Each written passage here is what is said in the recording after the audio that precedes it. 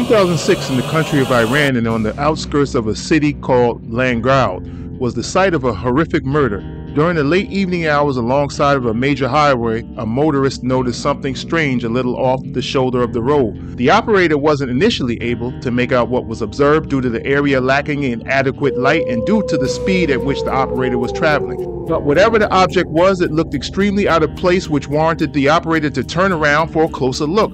The object was the body of a young woman with bulging eyes that was obviously strangled to death with a cloth. Over the next two years, the authorities were finding young women strangled to death using cloth on the shoulder of the highway near every major city that runs along the expressway. The media was notified and the murderer was labeled the highway killer. He was identified as Omid Barak and his wife. They were both brought in for questioning and confessed to the murders of 10 women. Omid was found guilty, sentenced to five years in prison with 74 lashes with a whip. After completing his sentence, he was executed by hanging.